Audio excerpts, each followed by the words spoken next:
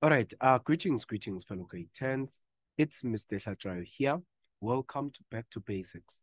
Now, what is it that we are going to be examining basically today is we are looking at our trig function, right? So we are going to be looking at our trigonometry. And now this is going to be our 20, uh, this is going to be our 2017 paper that we are examining November 2017, right? Now let's see in terms of what is it that uh, we can do in them. They say now the first one, 6.1, they want us to determine the general solution of this, right? So how do we find uh, our general solution firstly? Now remember here that you are having, uh, this is uh, given by what? This is given by sine of open bracket x subtract 30, right? This is subtract 30 degrees is equals to cos of 2x. Okay, so basically that is what you are given. And now what is it that you are going to do firstly to try and find out in terms of uh you know to do our general solution? The first thing is that to make to take note of is that now remember here you are given this in terms of sine and also your cos right? So it is almost impossible for us to work with uh you know sine and cos so what we are basically going to do is we can change uh, you know, any of these to either become your sine or to either become your cos, right?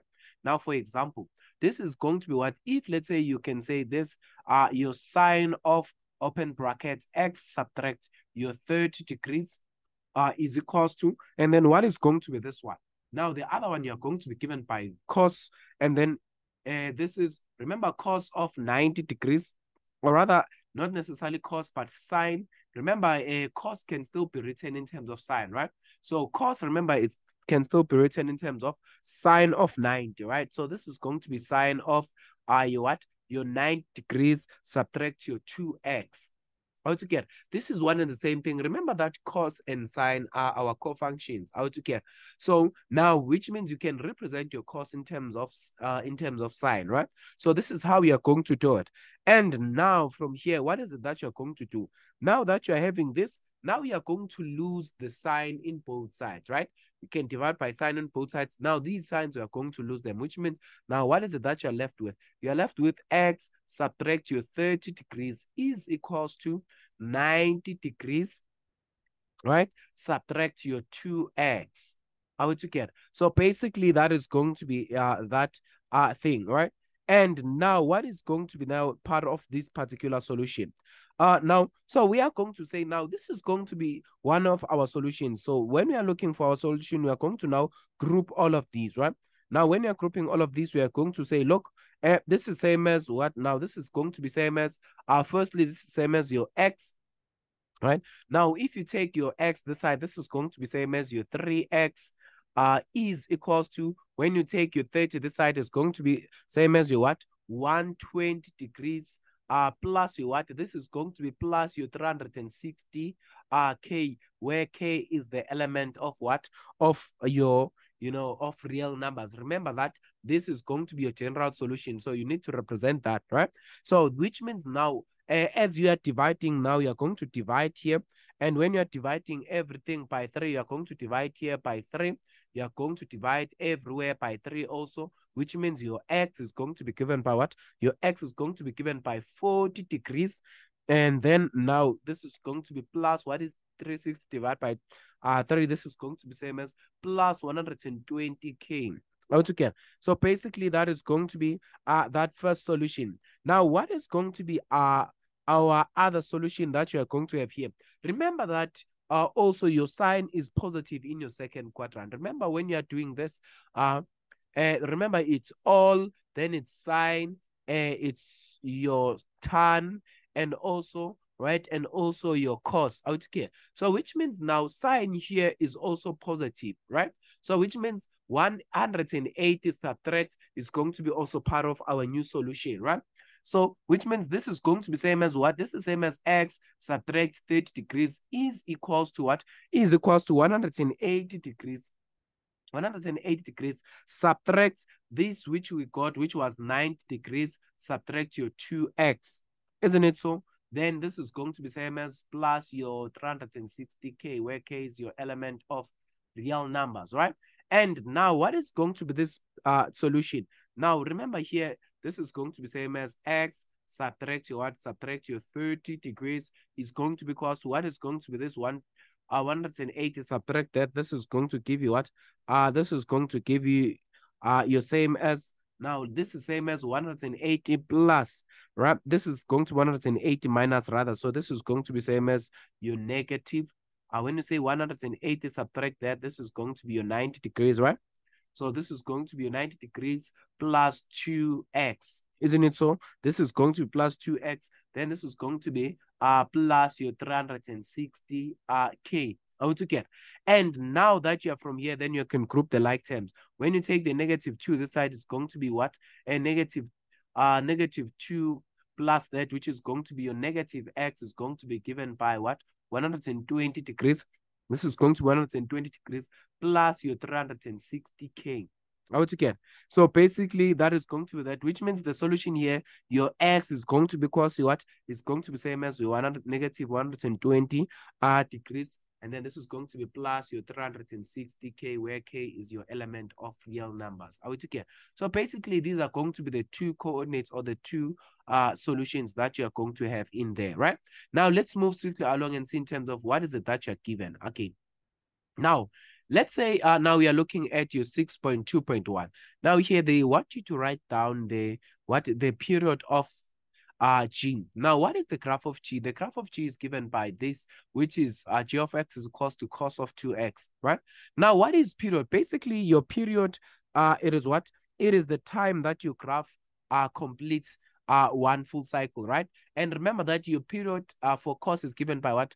A period, uh, this is 6.2.1 then your period is going to be given by what we have the formula which is period the same as your what uh 360 uh, degrees divide by what? Now here it's going to be divided by 2 because the value that is next to uh the x is what? It's going to be your 2. How to get?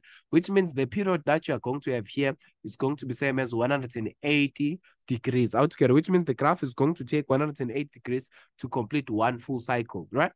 So now let's look at your 2 point uh point two, right? Your 6.2.2. Now they state the they say state the range of f. Now what is the key factor for stating uh, range? Now, remember, uh, your range is guided by what? Your range is guided by the amplitude, right? Your range your range is going to be guided by the amplitude. And remember, if you can look at this particular graph, this is f of x, which is equals to your sine of, uh, this is same as x subtract 30 degrees, right?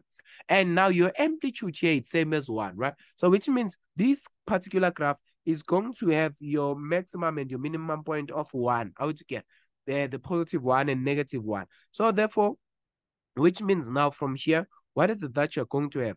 Uh, for your amplitude, uh, right, uh, or rather for your range, this is going to be uh, y, which is your element of your numbers. Your y is going to be ranging between negative one and also what?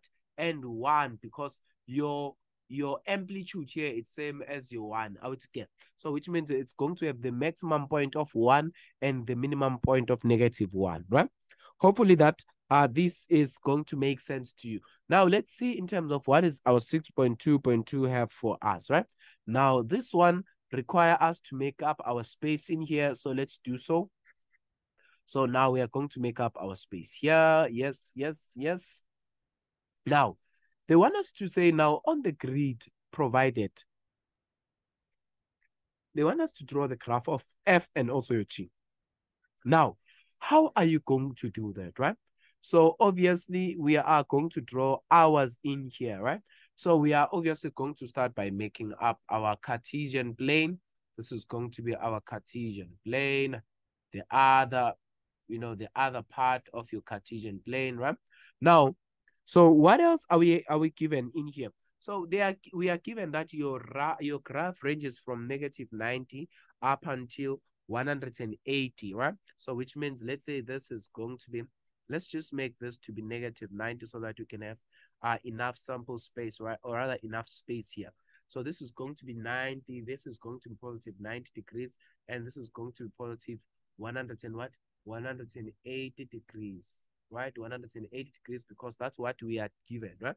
Now, And, then now what else are we then going to have? Now, if let's say firstly we start with a graph of f, right? Now your graph of f of x is given by what? It is given by sine uh, of what? This is sine of uh, your x subtract your 30 degrees. And remember, this is going to be your shift uh, to your left, right? Or this is going to be a shift to your right. Remember this, the ordinary graph of sine is shifted 30 degrees to the right, right? Now, let me remind you of this before we do anything. Remember that we are saying the graph of sine starts here at zero and it moves something like this, right? And it starts at zero. It consists of your turning point at 90 degrees, and it consists of this particular point that you intercept at your what? At your 108 degrees, and it consists of your turning point again at 270 degrees, and these are intercept at your 360 degrees, right? But now, what is it that I want you to take note of? All these points, according to this graph, all these points are shifted 30 degrees to the right, right? Which means now, uh, if you were having your turning point at 90 degrees, now it is going to be same as 90 degrees plus what? 90 degrees plus 30, which is going to be at 120 degrees, right?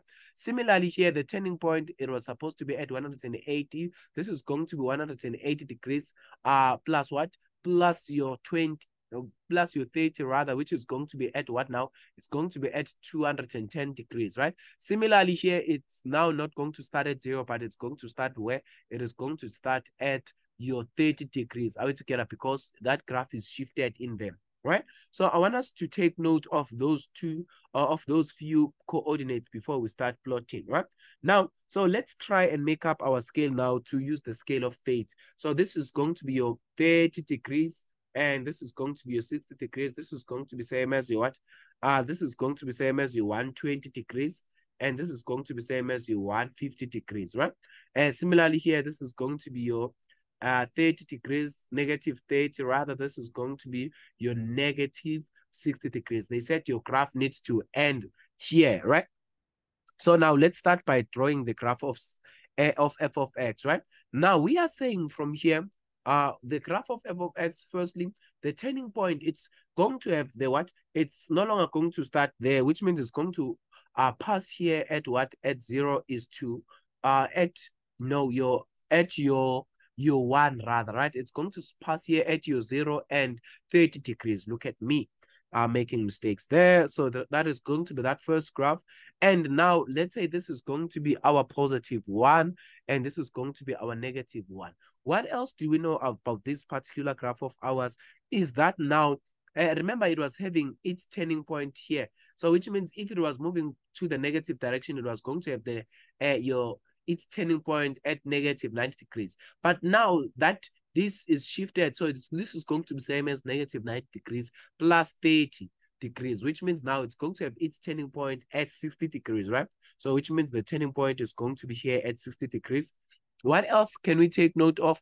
The, the turning point uh, also this side is going to be at 120 degrees. And now what else are you going to have? Now at 180 is going to be somewhere here because it is supposed to turn there at, or it's supposed to intersect there at 210 degrees, right? So which means it's going to have uh, the coordinate somewhere here in between, right? So now when you are plotting this particular graph uh, of f, which means this is going to be what? Remember, this is the turning point. So this is going to start here. And it is going to move swiftly along, swiftly along, swiftly along. And then this is going to be here, right? Uh, hopefully this makes sense. This is going to, you know, pass uh, here, right? Hopefully now you at least get that, right? And now, so the graph is going to look so uh, somewhere like this. If you are not sure about plotting this using your what, uh, using uh, the concept, you can just literally just plug this in your calculator and you're going to have the accurate points, right? You're going to have the accurate points that you are going to find in there, right? Now, what else? Now, which other graph are we going to draw now? The graph of what? The graph of your cos. Now, there's nothing much about this graph of cos, except that uh, it is what? It is having the period of what now? Uh, it is going to have a complete cycle uh, at 180 degrees which means remember the graph of cos if this is the cartesian plane it starts here right? And all of this it does it the original graph of x it does it at what? At 360 degrees. But now this graph is going to be shrinked such that whatever that was done at 360 degrees is only going to be done now at what? At 180 degrees, right? So basically that is going to be that, which means what is it that you're going to have here? Uh, now you're going to say, look, uh, now your intercept here first, let's start this particular graph start here at one, right? It's going to start here at one and uh, it's going to have its right now if you are using uh your calculator for this one which i would highly recommend. Uh firstly the turning point it's going to have an intercept here. Uh, it's going to have an intercept here at uh between your 30 and also your 60 right? It's going to have the intercept. And then now at 90 degrees remember it's going to now have the turning point right?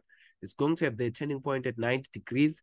And now when you're moving swiftly along between 120 and 150, it's going to have an intercept and it's going to end there at 180. It's going to be in here, right? So I would advise that you use your calculator to plot this particular graph. And similarly on this side, it's going to uh, intersect between here. This is going to be its intersection. And now it's going to have its turning point somewhere here at 90 degrees, right? That is going to have its 90 uh its turning point. So which means now this graph is going to start here. Let's start with the side. It's going to be somewhere like this. Uh this is going to be the turning point. Uh then this is going to move. Let's uh let me just rewrite that one very nicely. So we are saying this graph is going to start here. Have a turning point here, move something like this, move here right? Come back here 10 uh, and also have the turning point in here, right? Hopefully, you know, you are going to uh, see this particular graph when you are drawing it uh, using uh, your calculator altogether. So, but this particular graph is going to look almost something like this. Now, uh, let's uh, so this is going to be as far as these two graphs are concerned. Now, if you can look at your 6.2.4, they say write down the x-coordinates of the point of intersection for F and also what? And your G. So now we are saying where are both of these uh, graphs going to intersect, right? Now, where are these graphs intersecting? Firstly, uh, now if you can check here, it was intersecting here uh, it is intersecting here. Can you see that it is intersecting here? Where else this graph is intersecting? It is intersecting somewhere here, right? Uh, it is intersecting somewhere here. And the last graph uh, is going to intersect somewhere in here, right? As you can see here, it intersects somewhere in here, right? So intersection is the point of contact. And when you are going to use your calculator for this one, look, since I've used my calculator, let me see. Now, uh, you can check if you've plugged both the graph of f and your g in your calculator and check where both of these graphs are having the same points. You'll realize that uh, in your calculator at x, firstly, when your x is equals to, uh, when your x is equals to your 80 degrees, uh, you'll see that both of these graph, uh, both of those particular graph are having are sharing the same point, right? Now, if you're moving swiftly along, now the other point, if you are checking from your graph, uh, your calculator there, uh, you are going to realize that the other intersection is going to be at 40 degrees because that's where both of these graphs are also equal. And similarly, if you are moving swiftly along, now at the last point in here is going to be where x is equals to 160 degrees. So basically, that is going to be where also this particular graph is intersecting. So indeed, you are going to have these three points where uh, both of these graphs are going to intersect. Hopefully, this uh, makes sense to you now, and you are in a position to answer all these trig function related, right? So thank you very much for staying uh, in up until this end. Thank you.